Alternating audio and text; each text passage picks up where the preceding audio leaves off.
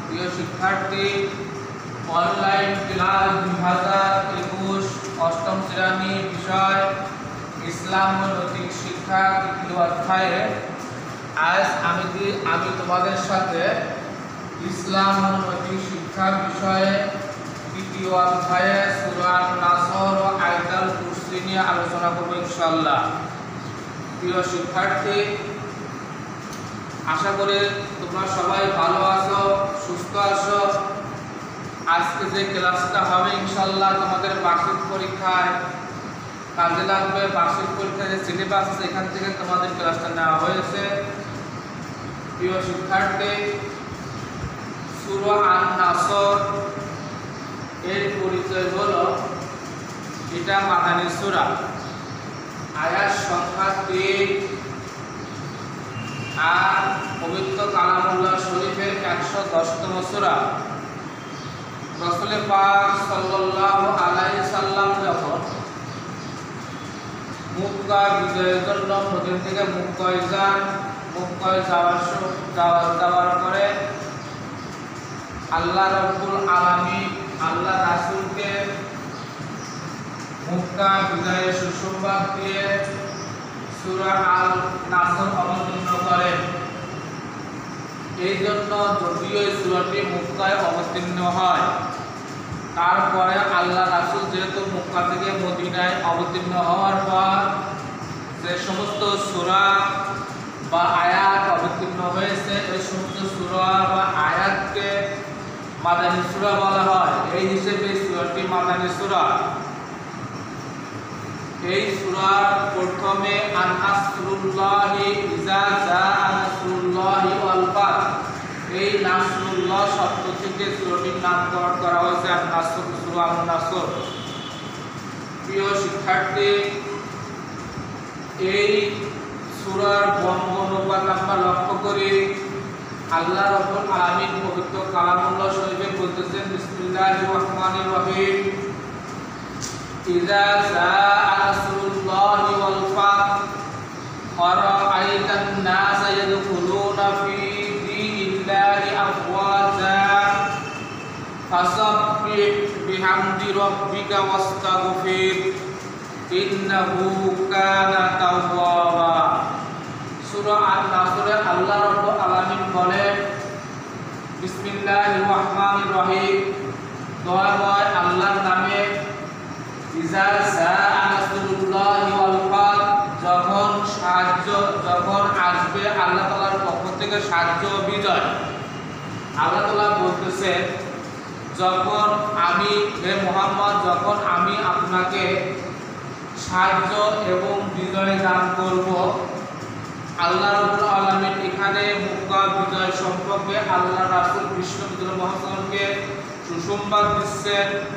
আল্লাহ রাসুল যখন মদিনা মক্কায় ছিলেন, মক্কার কাফেররা, মক্কার মুশরিকরা আল্লাহ রাসূলকে বিভিন্নভাবে শাস্তি, কষ্ট নির্যাতন করার পর আল্লাহ রাসূল যখন মক্কা থেকে মদিনায় হিজরত করে, মদিনায় হিজরত করার পর মদিনায় দিনে ইসলাম কায়েম করেন মদিনায় ইসলামী রাষ্ট্র কায়েম করার পর করলেও আল্লাহ রাসুলের মনের মধ্যে একটি কষ্ট ছিল যে আমার মাতৃভূমি মক্কাকে ছেড়ে আমি এখানে আসছি। আমার প্রিয় মানুষ, আমার কাছের মানুষ আমাকে কষ্ট দিয়েছে।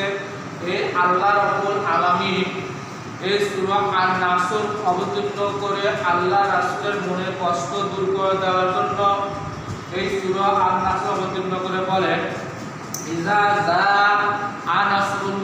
ওয়াল ফাত যখন আল্লাহ আপনাকে সাহায্য করবে, বিজয় দান করবে, তখন এমন বিজয় দান করবে যাতে আপনি খুশি হয়ে যান। দেখা যাচ্ছে আল্লাহ রাসুল যখন মুক্কার বিজয় করেন। মুক্কার বিজয় করার পর মুক্কায় যে সমস্ত কাপেররা যে সমস্ত মুসলিমরা আল্লাহ রাসুলকে কষ্ট দিয়েছে আল্লাহ রাসুলকে ভিক্ষা দিচ্ছেন ঠাট্টা বিদ্রোহ করেছে, আল্লাহ রবুল আলামিন সমস্ত কাপের মুশরিককে ক্ষমা করে দেন। এরপর আল্লাহ রবুল আলামিন বলেন আরাআইতান নাসা ইয়াদখুলুনা ফি দীনিল্লাহি আফওয়াজা। আল্লাহ তাআলা বলেন, আপনি মানুষকে দলে দলে আল্লাহর দিনে প্রবেশ করতে দেখবেন। যখন আপনাকে বিজয় দান করা হবে, যখনই আপনি বিজয় বেশে মক্কায় প্রবেশ করবেন, তখন দেখবেন মক্কার কাপড়টা যে কাপড়টা আপনাকে কষ্ট দিত, যে কাপড়রা আপনার কথা শুন- শুনতে পারতো না, কোরআন মানত না, ইসলাম মানত না, ওই কাপড়ায় দলে দলে ইসলামে প্রবেশ করবে।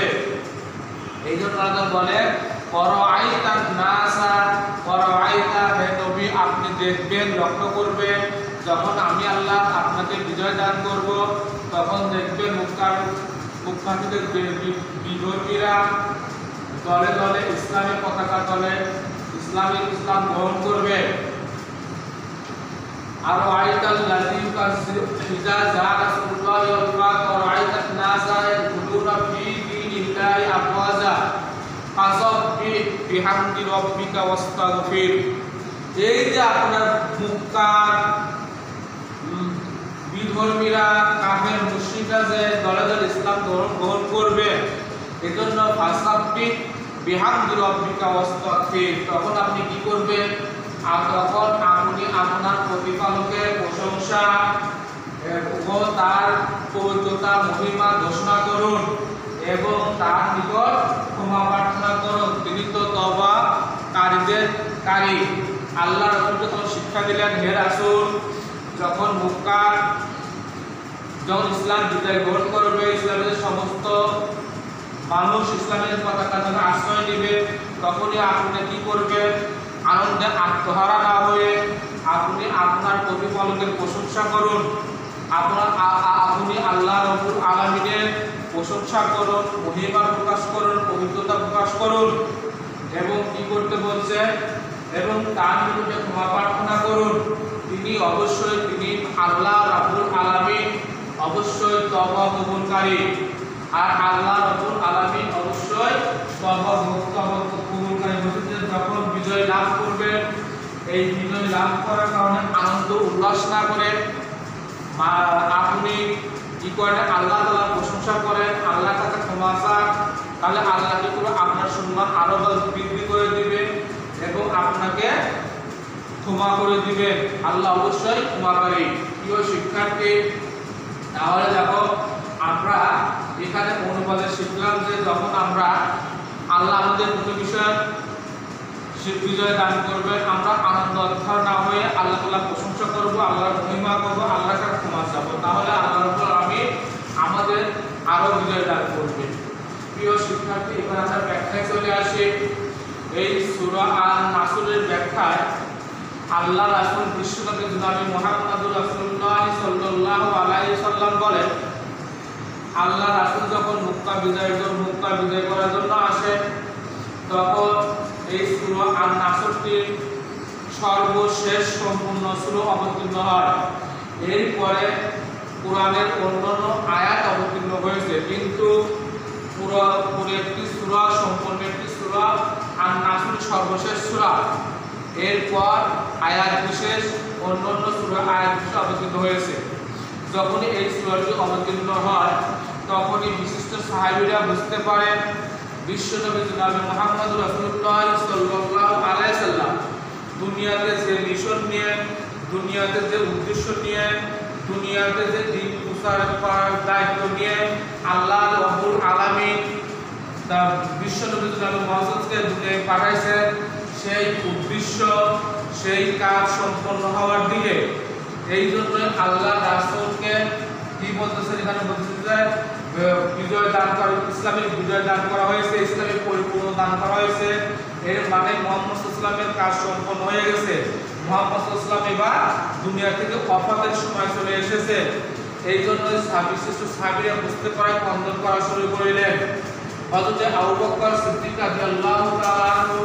যখন সূরা আন নাসর অবতীর্ণ হয়, তখন কান্না করা শুরু করলেন। তখন হযরতে ওমরে ফারুক রাদিয়াল্লাহু তাআলা আনহু বলেন ইয়া আমিরুল মুমিনিন ইয়া আমিরুল মুমিনিন আজ তো আমাদের বিজয়ের দিন, খুশির দিন, আপনি কেন কান্না করতেছেন? হয়তো ওমরে হযরত আবু বকর রাদিয়াল্লাহু তাআলা আনহু বলেন, ইয়া ভাই কি দেখো নাই? আল্লাহ তাআলা কি বলছে?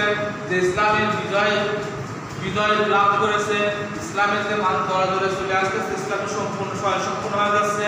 এর মানে হলো আমাদের দয়াল নবী, আমাদের পানের নবী মোহাম্মদ দুনিয়া থেকে বিদায় নেওয়ার সময় ঘনিয়ে এসেছে। এই জন্যই আল্লাহ রাসুলের বিদয় বেদনায় আমি কন্দন করিতেছি এই জন্য আল্লাহ রাসুলের যা আমাদের মাঝে বেশি থাকবেন না, এই জন্য আল্লাহ রাসুলের হৃদয় বেদনায় বেশি বেশি করে কান্না করতেছি। তাই দেখো, প্রিয় শিক্ষার্থী, এই হলো আল নাসরের ব্যাখ্যা। এবার আমরা শিক্ষায় আসি, শিক্ষা আমরা বলতে পারি যে আমরা যখন যে কাজ করব ওই কাজে কি করতে হবে? আল্লাহ উপর তাওয়াক্কুল করতে হবে আল্লাহ উপর ভরসা রাখতে হবে। আমাদের চিন্তা করতে হবে যে আল্লাহ রব্বুল আলামিন অবশ্যই আমাদেরকে বিজয় দান করবে।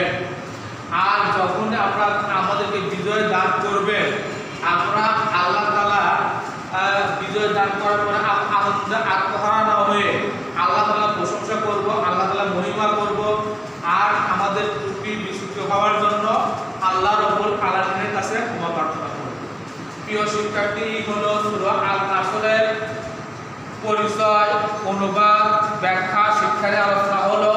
আর সাথে একটা আমরা আয়াত করছি, আয়াতুল কুরসি। এই আয়াতুল কুরসি হলো পবিত্র কালামুল্লাহ শরীফের সর্ববৃহত্তম সূরা। কোরআনের দুই নম্বর সূরা সূরা আর বাকারা দুইশত পঞ্চান্ন নম্বর আয়াত। এখানে আল্লাহ রব্বুল আলামিনের প্রশংসা, মহিমা, গুণগান কীর্তন করা হয়েছে। এই জন্য বলা হয়েছে এই সূরাকে বলা আয়াতুল কুরসি। আয়াত মানে আয়াত আর কুরসি শব্দ অর্থ আসন, চেয়ার। এটাই কুরসি শব্দ, চেয়ার। এই জন্য বলা হয় যে কুরসির শব্দ অর্থ কাঠ, অনেকগুলো কাঠ এক জায়গায় যুক্ত যুক্ত করা, এক জায়গায় জোড়া লাগানো। এই যেমন চেয়ার, টেবিলে অনেকগুলো কাঠকে জোড়া লাগানো হয় এই জন্য একে কুরসি বলা হয়। এখানে আল্লাহ রব্বুল আলামিন বল- বলেন যে ব্যক্তি আয়তাল কুরসি প্রভাতে এবং সহকারে পাঠ করিবে, আল্লাহ রব্বুল আলামিন তাকে জান্নাত দান করবেন। আর বিশ্ব নবী জনাবে মুহাম্মদ রাসূলুল্লাহ সাল্লাল্লাহু আলাইহি ওয়াসাল্লাম আরও বলেন যে ব্যক্তি প্রত্যেক ফরজ নামাজের পর আয়তাল কুরসি পাঠ করবে, আল্লাহ রব্বুল আলামিন ওই বান্দার মৃত্যু ব্যতীত যা জান্নাতে প্রবেশ করার বা মৃত্যু ব্যতীত আর কোনো বাড়া থাকবে না। এই জন্য আয়তাল কুরসি আমরা ইনশাআল্লাহ সকাল, সন্ধ্যা, পাঁচ ওয়াক্ত ফরজ নামাজের পর আর পাঠ করব তাহলে আল্লাহ রাব্বুল আলামিন আমাদেরকে দুনিয়া এবং আখিরাতে উভয় জাহানেই শান্তি শান্তি দান করবেন প্রিয় শিক্ষার্থী, আজকে যে ক্লাসটা হলো অনলাইনে ক্লাসটা, এই ক্লাসে ইনশাআল্লাহ তোমরা ভালো করে দেখো এবং তোমাদের পাঠ্য বই দ্বিতীয় অধ্যায়ে এই যে সুরাত নাসর এবং আয়তাল কুরসিটা ভালো করে পড়বে ইনশাআল্লাহ এখান থেকে তোমাদের বার্ষিক পরীক্ষায় একটা প্রশ্ন থাকতে পারে। সুন্দর করে অ্যান্সার করলে ইনশাআল্লাহ ভালো নাম্বার পাবা। প্রিয় শিক্ষার্থী তোমরা সবাই সুন্দর থাকো সুস্থ থাকো করোনা ভাইরাস থেকে সুরক্ষায় থাকো, বেশি বেশি সালাদ তা হাত দাও, আর পিতামাতার কথা শোনো।